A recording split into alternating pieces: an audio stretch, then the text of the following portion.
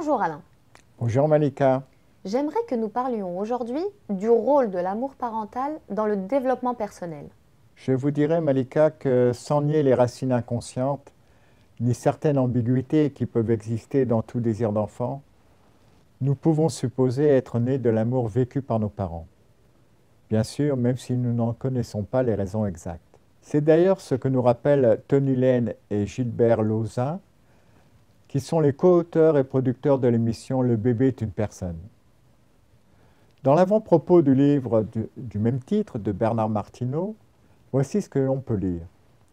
Entrer dans la vie, c'est d'abord exister dans une conception, dans l'interaction exacte du désir entre deux géniteurs représentant les deux sexes. Comprendre qu'avant tout, être de cette espèce, c'est s'inscrire dans une histoire, c'est être anticipé par l'imaginaire de ses parents, c'est construire sa personnalité dans leur regard, c'est établir le premier espace de sa vie psychique dans l'intelligence et la connivence infinie des rapports que l'on crée avec eux. Les auteurs précisent nous avions comme objectif de décrire dans une langue simple et accessible le processus alchimique qui, depuis le désir, produit l'être humain, l'accueille, le personnalise et continue de l'envelopper lorsqu'il a rejoint le monde où nous vivons. Vous citez souvent les études sur l'affectivité selon Franz Weldmann et l'aptonomie de Françoise et Catherine Dolto. Depuis l'étude de l'affectivité selon Franz Weldmann et l'aptonomie de Françoise et Catherine Dolto, nous savons que la sécurité affective, la confiance en soi, l'autonomie, la présence à soi, à l'autre et à l'environnement, la capacité de communication sont autant de piliers fondateurs d'une personne et de son développement personnel. Il faut le reconnaître, tout ceci s'acquiert d'abord pendant les neuf mois de la grossesse, grâce aux liens intenses que les parents créent avec leur bébé, par la voix et les gestes du père et de la mère, notamment sur le ventre de la maman. Tous les accompagnements pour une naissance sans violence participent aussi de ce futur bien-être.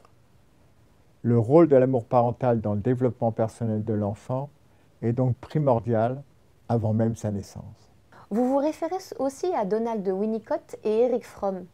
La question que l'on peut se poser, c'est que voit l'enfant lorsqu'il regarde le visage de sa mère?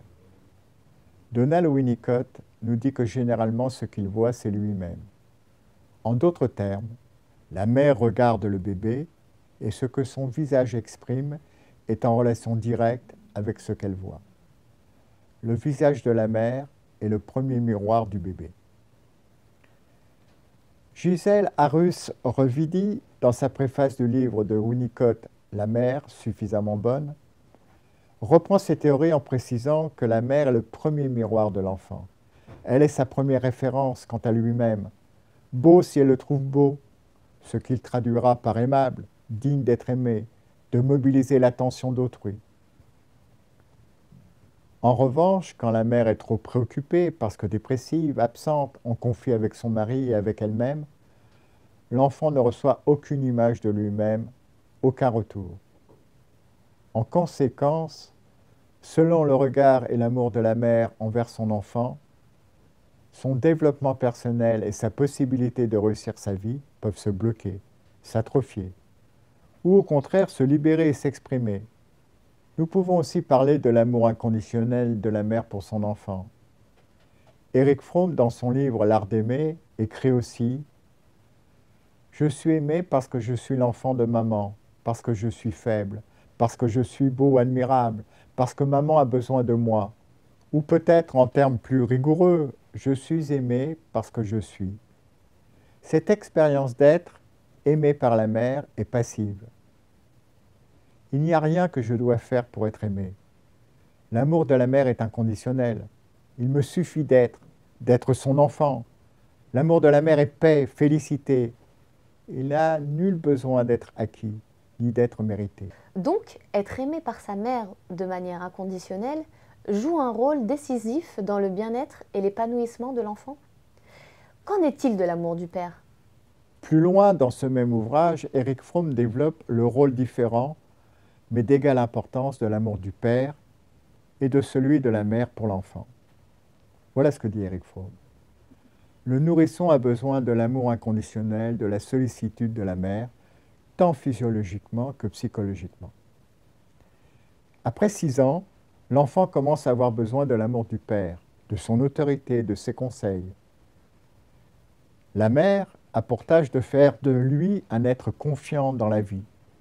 Le père de lui servir de guide pour faire face aux problèmes auxquels le confronte la société particulière dans laquelle il est né. Dans le cas idéal, l'amour maternel s'abstient de freiner la croissance de l'enfant, de donner une prime à sa faiblesse. Il importe que la mère ait foi en la vie et que par conséquent, elle ne soit pas hyper anxieuse pour ne pas contaminer l'enfant par sa propre angoisse. Le souhait que l'enfant conquiert son indépendance et finisse par se séparer d'elle doit aussi faire partie de son existence. Quant à l'amour du père Malika, il doit se régler sur des principes et des attentes. Il doit être patient et tolérant plutôt que menaçant et autoritaire. Il importe qu'il communique à l'enfant qui grandit un sentiment croissant de compétence et lui permette par la suite de devenir son propre maître en se passant de l'autorité paternelle. En fin de compte, lorsqu'elle est à maturité, la personne est devenue sa propre mère et son propre père. Comment se libérer d'un manque d'amour durant l'enfance? Bien évidemment, nous n'avons pas tous bénéficié de l'amour dont nous ressentions le besoin. Mais il nous faut reconnaître que l'on ne naît pas parent, on le devient. Entre l'enfant et le parent se construit une relation qui, selon la nature, la sensibilité et l'histoire de chacun, peut se traduire en de nombreuses joies, en événements fondateurs, mais aussi en de multiples peines, blessures et frustrations. Ainsi, le plus souvent, il émane de nos expériences passées des forces vives et des blessures émotionnelles. Or, il nous paraît impossible d'accéder à un authentique bien-être en étant uniquement centré sur les difficultés et en évoquant d'entretien en entretien les mêmes problèmes.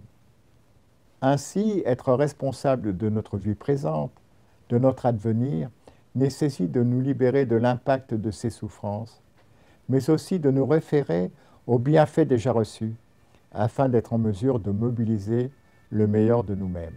Ce qui implique, il me semble, d'effectuer un travail d'introspection par un accompagnement individuel.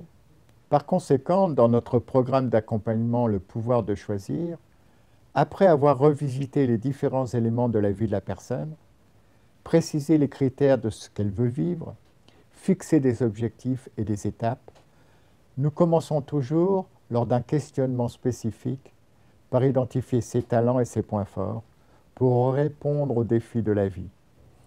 Il est nécessaire de prendre conscience de nos savoir-faire, de nos savoir-être, afin de se réapproprier les éléments positifs de notre passé. Nous pouvons ainsi dynamiser l'ensemble des ressources qui sont déjà à notre disposition, ce qui va nous permettre de retrouver la confiance en soi, en nos possibilités, en la vie. C'est donc en nous référant au meilleur de nous-mêmes que nous allons être en mesure d'acquérir les modes de pensée, d'action, de communication qui nous conduiront à la réalisation de nos aspirations profondes d'étape en étape. Le début de notre accompagnement ouvre la personne à une réconciliation avec elle-même, avec ce qu'elle désire et ressent profondément être depuis toujours. Avant ses tout premiers entretiens, préoccupée par une vie qui ne lui convient pas, auto-fascinée par les difficultés et les frustrations génératrices de conflits intérieurs, la personne accompagnée a tendance à oublier ou banaliser les éléments positifs d'elle-même, de son identité, de sa vie. Je vais vous poser ma question rituelle. Pouvez-vous nous donner un exemple? Bien sûr, Malika. Je vous propose dans une prochaine vidéo de citer l'accompagnement de Martine et sa confrontation à un vide existentiel. Eh bien, je vous remercie.